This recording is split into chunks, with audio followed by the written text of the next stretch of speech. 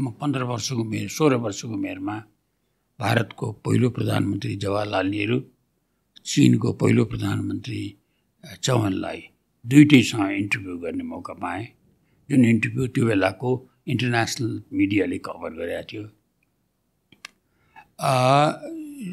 त्यो जेलमा बस्दाखेरिमा यहाँका साह्रै सबै महत्त्वपूर्ण नेताहरू मेरो रुममेट थिए। मनमोहन अधिकारीसँग म डेढ वर्ष एउटै कोठामा जेलमा बसेँ। उहाँले नै मलाई इकोनोमिक्स पढाउनु भयो। मैले ग्रेजुएसन चाहिँ भद्रकोट जेलबाट गरेको हुँ। त्यही यही बिचको यो पिरियडमा राजा महेन्द्र जो दरबारमा Bishwaprasad Koirala the first elected prime minister Sundarijal jail or military जेलमा यिनीहरू दुइटाको बिचमा नेगोसिएसन गराउने काम पाएँ मैले र I negotiated between the two जसलाई बिपी कोरालले आफ्नो किताब जेल जर्नलमा धेरै उल्लेख गर्नुभएको छ। र त्यसमा मेरो र बिपीको बिचमा मेथोलोजीमा कुरा मिलेन। परिणामस्वरूप त्यो मेरो प्रयास असफल भयो। तर त्यसपछि बिपीले मलाई यो कसको बिपीको सोचाइ ठिक अथवा मेरो सोचाइ ठिक हो भन्ने विवादमा टुङ्ग्याउनुको लागि भारतका एक प्रसिद्ध नेता जयप्रकाश नारायण हुनुहुन्थ्यो जो जवाहरलाल नेहरूकै लेभलको स्तरको नेता हुनुहुन्थ्यो राष्ट्रिय नेता। उहाँसित कुरा गर्नलाई पठाउनु भयो र बिपीले आफ्नो जेल जर्नल किताबमा लेख्नु भएको छ जेपी जेपी भन्नुभएको छ उहाँले जेपी भने जयप्रकाश नारायण हो। जयप्रकाश नारायणले रमेशको कुरा ठिक थियो मैले सोचेको कुरा ठिक थिएन भनेर मलाई खबर पठाउनु भएको छ भन्नु उहाँको मदरको मार्फतबाट खबर पठाउनु। यस प्रकार मेरो राजनीतिमा पत्रकारितामा राष्ट्रिय मामिलामा संलग्नता बढ्दै गयो। र मेरो लेखाइहरू त्यही मन परेपछि मलाई बिस्तारै कुटनीतिमा प्रवेश गराइयो। नेप त्यो बेलामा दुई हजार पच्चिस सालमा नेपाल र भारतको बिचमा एउटा बडा अस्चिलो अवस्था थियो। अस्चिलो अवस्था भने के भने नेपाल र भारतको बिचको ट्रेड एन्ड ट्रान्जिटको जो ट्रिटी हो त्यो ट्रिटीको म्याद ल्याप्स भइसकेको थियो। तर तर ट्रेड एन्ड ट्रान्जिटको रिलेसन चाहिँ स्मुथली चलिरहेको थियो। त्यो नयाँ एग्रिमेन्टको निम्तिमा हाम्रो चाहिँ भनाइ सोचाइ के थियो भने ट्रेडको अलग्ग हुनुपर्छ ट्रान्जिटको अलग्ग हुनुपर्छ ट्रान्जिट भन्ने चाहिँ नि यो भूपरिवेष्टित राष्ट्रको अधिकार हो। ट्रेड भनेको बाइलाटरल ट्रेड दुइटा कन्ट्रीको बिचको कुरा हो भनेर थियो त्यसमा गभर्मेन्ट अफ इन्डिया मानिरहेको थिएन। त राजा महेन्द्रले मलाई त्यो बेलामा इन्डियाको प्रधानमन्त्री इन्दिरा गान्धीसित वार्ता गर्न पठाउनु भयो त्यो वार्ता सफल भयो। हाम्रो बिचमा सहमति भयो। त्यही बिचमा दुई तिनवटा अरू देशहरूसित पनि हाम्रो यो स्ट्राटेजिक म्याटरहरूमा खास गरेर सुरक्षाका मामिलाहरूमा समस्याहरू थिए र मलाई त्यो तत्कालीन प्रधानमन्त्रीको अफिसियल क्रिडेन्सियल लिएर रिटेन क्रिडेन्सियल लिएर वार्ता गर्न पठाइयो। त्यो वार्ता सफल भयो। भएपछि युनाइटेड नेसन्समा हामी दुई हजार पचपन्न नाइन्टिन फिफ्टी फाइभमा हामी युनाइटेड नेसन्समा मेम्बर भइसकेका थियौँ। त्यसपछि चाहिँ मलाई युनाइटेड नेसन्समा नेपालको प्रतिनिधिमण्डलको सदस्यको रूपमा पठाइयो।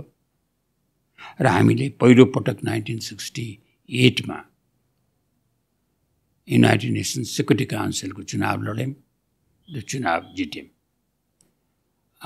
युनाइटेड नेसन्स जनरल एसेम्ब्लीको हिस्ट्रीमा त्यस्तो रेकर्ड भोटले चुनाव जितेको त्यो पहिलो पटक थियो त्यसपछि म नेपाल फर्केर आएर फेरि पत्रकारितामै कन्टिन्यू गरेँ र यही बिचमा मलाई दोस्रो पटक नेपालले पन्ध्र वर्षपछि दोस्रो पटक नेपालले संयुक्त राष्ट्रसङ्घ सुरक्षा परिषदको चुनाव लड्ने निर्णय गर्यो र फेरि दोस्रो पटक मलाई युनाइटेड नेसन्स पठाइयो। त्यस बेलामा पनि हामीले जित्यौँ त्यसपछि टु थाउजन्ड फाइभमा नेपालले म नै परराष्ट्र मन्त्री भएको बेलामा नेपालले फेरि सुरक्षा परिषदको सदस्य हुनुपर्छ भनेर मेरै नेतृत्वमा प्रयास प्रारम्भ भयो। त्यो बेलामा नेपालको विरुद्धमा नेपालको विरुद्धमा नभनौँ नेपालको राइभलको रूपमा दुईवटा अरू मुलुकहरू पनि एसियन सिटबाट सेक्युरिटी काउन्सिलको क्यान्डिडेट थिए। एउटा कोरिया दक्षिण कोरिया एउटा इन्डो एउटा इन्डोनेसिया। दक्षिण कोरियाको परराष्ट्र मन्त्री जो बान्की मुन हुनुहुन्थ्यो उहाँसित म मेरो र उहाँको बिचमा सम्बन्ध निकै राम्रो थियो। किनभने दुईवटा कन्ट्रीको बिचमा एज ए फरेन मिनिस्टर हामीले काम गरिरहेको थियौँ। बान्के मुन त्यो बेलामा युनाइटेड नेसन्सको जनरल सेक्रेटरीको क्यान्डिडेट हुनुभयो। भएपछि मैले उहाँलाई सियरमा भेटेँ।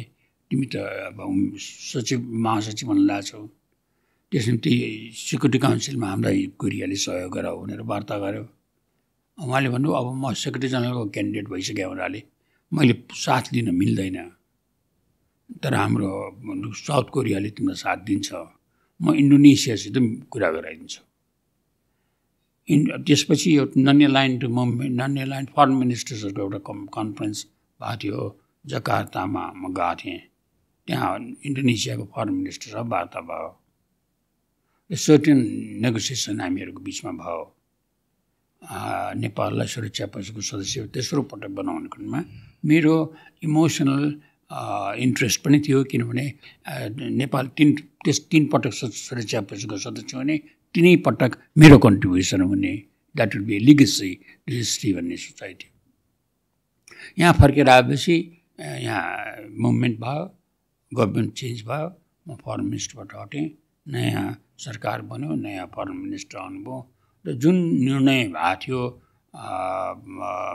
नेपाल र इन्डोनेसियाको फरेन मिनिस्टरको मलेसियामा हुने बैठकमा मलेसियामा हुने फरेन मिनिस्टर्स कन्फरेन्समा कुरा गरेर सेटल गर्ने भनेर हाम्रो फरेन मिनिस्टरले भेट्नु भएन।